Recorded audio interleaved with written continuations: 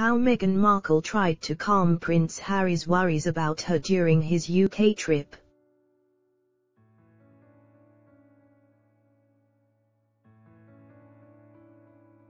Amid a difficult time and trip, Harry didn't want to leave Meghan and Archie alone.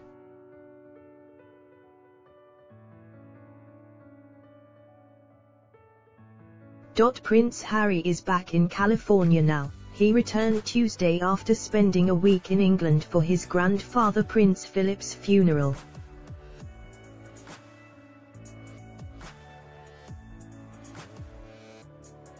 His wife Meghan Markle was unable to travel with him, as her doctor did not clear her to fly so late into her pregnancy.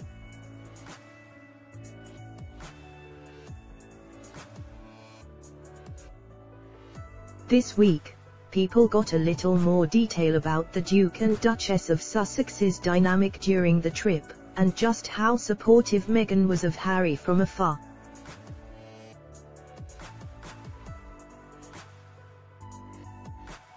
Meghan and Harry have been in touch every day a source said of Harry's time away.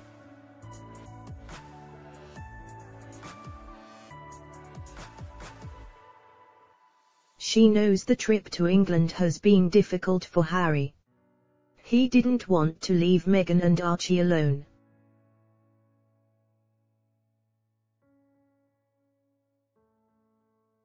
Meghan has insisted to him every day though that they are fine. She hasn't wanted him to worry.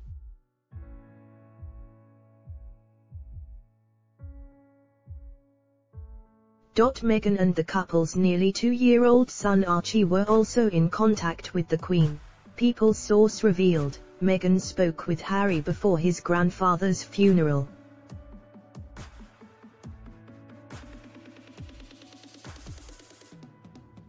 Meghan and Archie also spoke with the Queen earlier this week. Us Weekly had similar intel about Harry and Meghan's correspondence while he was away.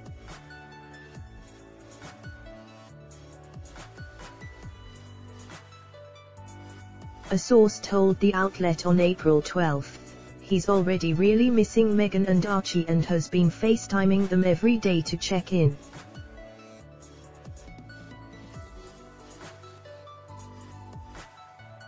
He actually speaks to Meghan a few times a day because he worries about leaving her when she's so far along in her pregnancy.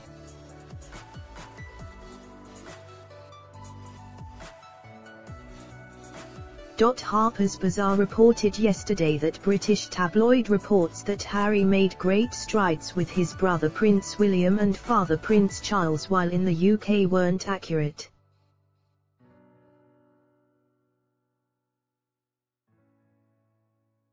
Harry's visit was the first time he had been back to the UK since his and Meghan's bombshell-filled Oprah interview aired in March, where they addressed why the royal families treatment led them to ultimately step back from their senior royal family roles permanently.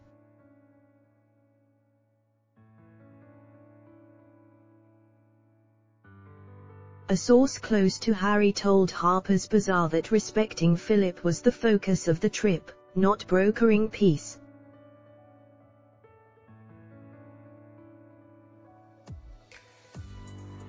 This trip was to honor the life of his grandfather and support his grandmother and relatives the source said.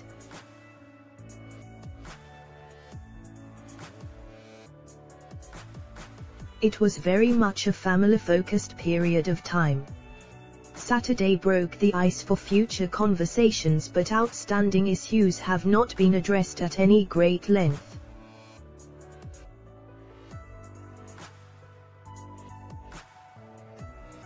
The family simply put their issues to one side to focus on what mattered.